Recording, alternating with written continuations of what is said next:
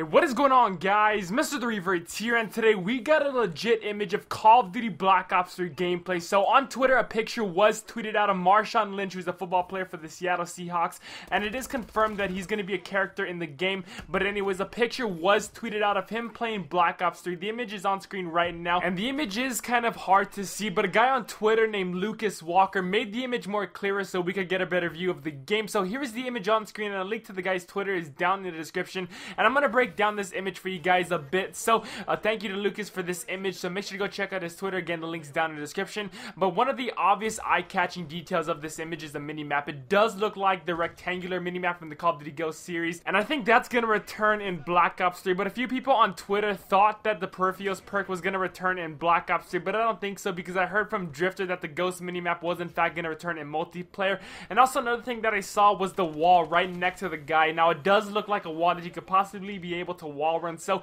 that is kind of interesting to me. And another thing that caught my attention was the bottom right corner. It does look a little small for you guys, but to me, it does appear to be a score streak meter, and it does look very similar to the Black Ops 2 score streak meter. So that is pretty cool, and that is really everything that I could break down from this image. And from what everyone has said that played Black Ops 3 already, they said it plays out very similar to Black Ops 2, and the gameplay from this image does look very similar to Black Ops 2. So guys, remember E3 is within a couple of days, and we're definitely going to get some Black Ops 2 gameplay by then, and I'm really looking forward to see that, guys. So, let me know what you guys think of this image down in the comments. If you guys could find any details that I might have missed, let me know down in the comments. And also, guys, make sure to go check out my video I did upload today. I did have daily, or two uploads today, and uh, the first video that I uploaded talked about uh, the new changes coming to Black Ops 3 and the multiplayer gameplay and stuff like that. So, go check that out. The link's down in the description. And so, guys, make sure to comment what you guys think of this image. Also, please drop a like if you guys did enjoy, and make sure to subscribe for the latest Call of Duty Black Ops 3 news, rumors, and information. Thank y'all for watching. My name is Mr. The Reaver. Hope you guys have a great day.